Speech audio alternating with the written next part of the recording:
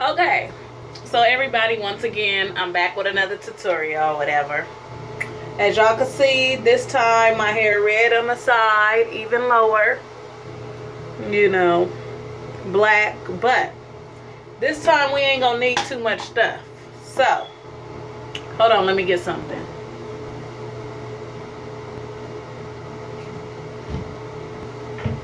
We just might need a little bit of this Gorilla Snot. This will hold your edges for dear life. So now I'm back to do Oprah. But this time she gonna be new and from the beginning. And this time I'm gonna put her on like this. So, I got the Slickster, the scissors, the wig cap, the Gorilla Snot. So, um, yes what I'm doing is wetting the slickster right now, right? So, you know, I really don't have to do too much for this, but it already got Gorilla Snot in it, so it's kind of hard. But, just gonna slick that back a little. So we're gonna open her together.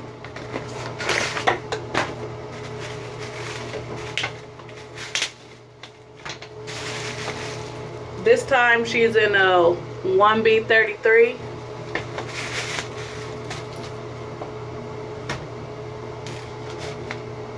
Okay. So, just gonna cut this off. Okay. This is her the front way drawstring, which we all know I can't do it the right way, so I'm gonna put this wig cap on. Oh Lord, this forehead big. This is how I know I never could go bald. Look at this. Mm. Lord. So, just gonna put that on. So, I can't do her this way. It's not for me.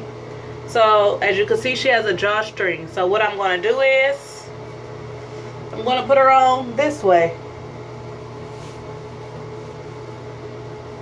This is her. And pull his drawstring some.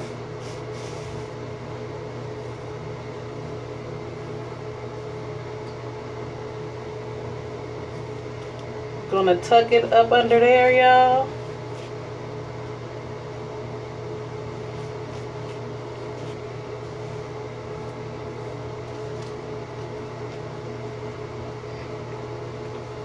Make sure she fit to this big head. Dang, I forgot how beautiful she is. No, sure. And take this. Section it off right here.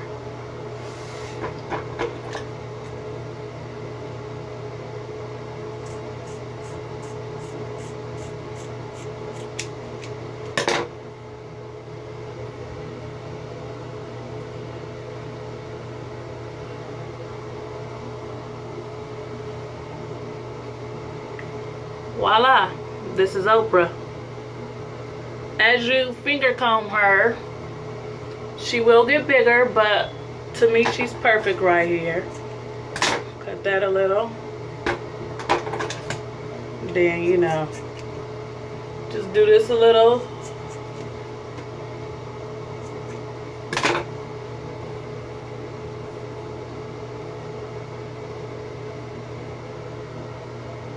And there you have it. This is Oprah. She nice. This is how she look in the back.